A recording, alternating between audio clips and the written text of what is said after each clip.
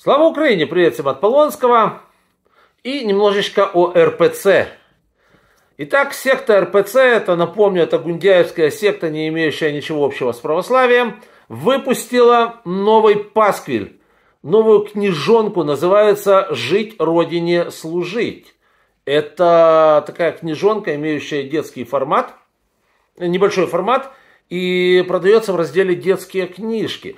А в этой книжонке рассказывается о том, что нужно быть, вот послушайте, покорным всякому человеческому начальству. Не Богу, вот заметьте, да, это же по идее, вот я, например, не особо верю в Бога, но я даже, скажем, я не атеист вообще, но в Бога не сильно верю. По крайней мере, в том формате, в котором эти все религии предлагают. Но даже я понимаю, я далек от этого, что покорным вот, э, э, людям религиозным надо быть покорным Богу, но никак не человечес, всякому человеческому начальству. А еще, там, вот я просто читаю, я обалдеваю, да, э, значит, э, а, настро... вот, послушайте, э, в книгу вошли изречения, которые учат тому, как нужно относиться к родине, настраивают на военные будни и укрепляют волю к победе. Елки-палки, я что-то не понял.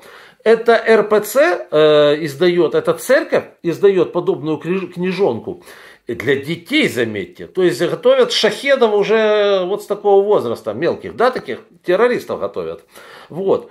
И, или это военная какая-то военно-патриотическая книга, пропагандистская, которая готовит э, пушеч, будущее пушечное мясо э, к тому, чтобы это пушечное мясо когда-нибудь в какой-нибудь войне безропотно подохло за нового какого-то очередного Путина, или как там, Сталин, или еще какая-то сволочь, которая будет у них руководить, потому что не сволочи у них никогда не руководят.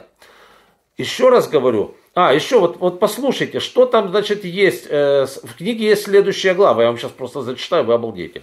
Святые отцы о войне, мире и российском воинстве. О войне. Призовут, мы не потужим, родине послужим. Нормально? Э, религии здесь речи нету. Служить надо родине.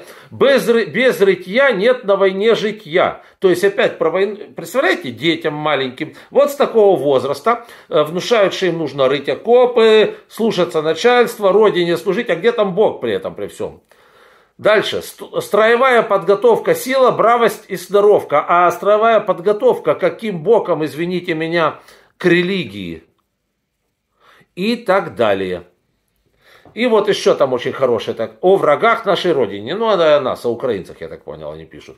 Вот, то есть, смотрите, э, РПЦ, еще раз говорю, РПЦ это не, это не Соловьев с Киселевым там издали, и не Боброедка Симонян, нет.